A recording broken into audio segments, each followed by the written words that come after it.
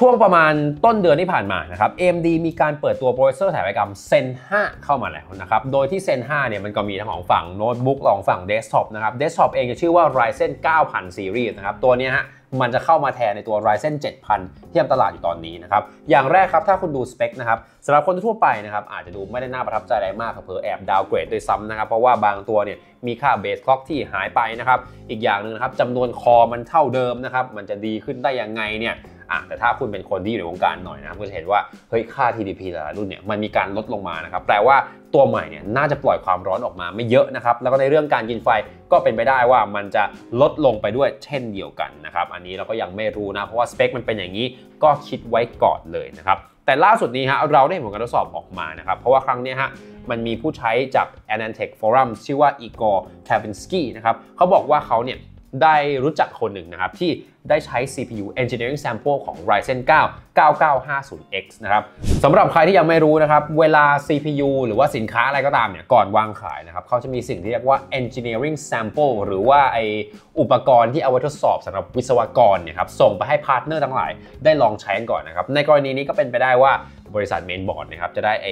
Engineering Sample ส่งมาให้ ทดสอบกับเมนบอร์ดของเขาก่อนวางขายนั่นเองนะครับ จริงๆแล้วเนี่ยสมัยก่อนนะครับสื่ออย่างเราก็ได้ engineering sample มาเช่นเดียวกันนะครับ เพราะว่าเขาก็ถือว่าเราเป็นคนที่ทดสอบผลอะไรให้เขาต่างๆนานา ก็เลยส่ง engineering sample หรือว่า ES ให้เราได้ใช้กันนะครับ แต่ว่ายุคนี้เขาไม่ส่ง engineering sample ให้แล้วนะครับเขาส่ง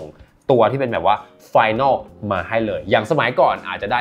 ร่วงหน้ามาเป็นเดือนก่อนที่เปิดตัวจริง แต่ว่าสมัยนี้เหลือแค่ 2 อาทิตย์ ผมเองก็จะได้ใช้ CPU ตัวเดียวกับที่วางขายนั่นแหละครับ แต่ไม่ใช่ประเด็นนะครับ ประเด็นคืออันนี้ฮะมันเป็น engineering sample ของ Ryzen 9 9950X นะครับ ไอตัว 990X เนี่ยจะว่าไปแล้วนะครับ มันก็คือตัวท็อปสุดเลยนะ ภายในเนี่ยมันมี CCD พื้นฐาน Zen 5อยู่คู่นะครับ มีคอโดยรวมที่ 16 คอ แล้วก็เทรดรวมที่ 32 เทรดนะครับเบสคล็อกจะอยู่ที่ 4.3 GHz และบูสต์คล็อกที่ 5.7 GHz นะครับด้านแคชรวมที่ 80 เมกะไบต์แบ่งเป็น 64สำหรับ L3 แล้วก็ 16 เมกสำหรับ L2 นะครับ TDP อยู่ที่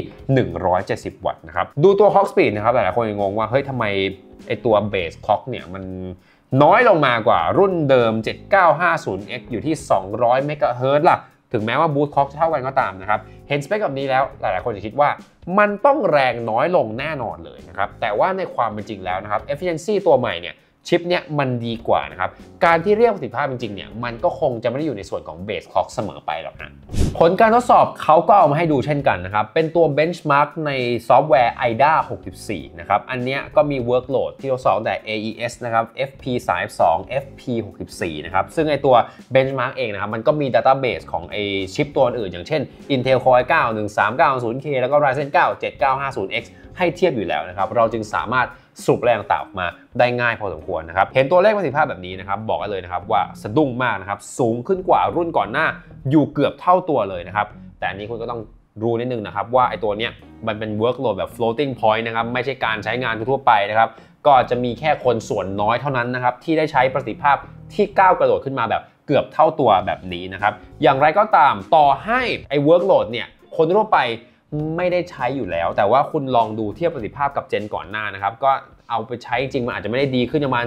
40-50%อย่างนี้หรอก แต่ว่ามันต้องดีขึ้นอย่างชัดเจนแน่นอนนะครับใน workload อื่นๆฮะ ก็เดี๋ยวเรามารอรุ้นกันดีกว่านะครับว่าถ้าเป็น workload ประเภท integer หรือว่าการทำงานประเภทอื่นๆที่ไม่ใช่ floating point เนี่ยครับมันจะสามารถทำได้ดีแค่ไหนนะครับ แต่ว่าทาง AMD เองเนี่ยเขาก็มีการเคลมมานะว่าไอ IPC instruction per cycle ของเขาเนี่ยมันดีขึ้นอย่างชัดเจนนะครับ ก็เลยไม่ต้องไปขยับจำนวนคออะไรต่างๆ ขึ้นมาอะไรแต่อย่างใดนะครับ ซึ่งผมก็คิดว่าก็คงจะต้องเป็นอย่างนั้นแหละ เพราะว่ามันเปลี่ยนสถาปัตยกรรมเลยเนาะมาเป็น Zen 5เลยนะครับ แล้วผมคิดว่านะครับครั้งนี้ฮะ ถ้า Intel ไม่รีบเปิดตัว Arrow Lake ออกมานะครับ ผลคะแนนอะไรต่างๆของ AMD ที่ทำออกมาได้แบบนี้นะครับ ตอนนี้น่าจะเป็นว่า AMD เป็นผู้นำตลาด CPU ไปซะแล้ว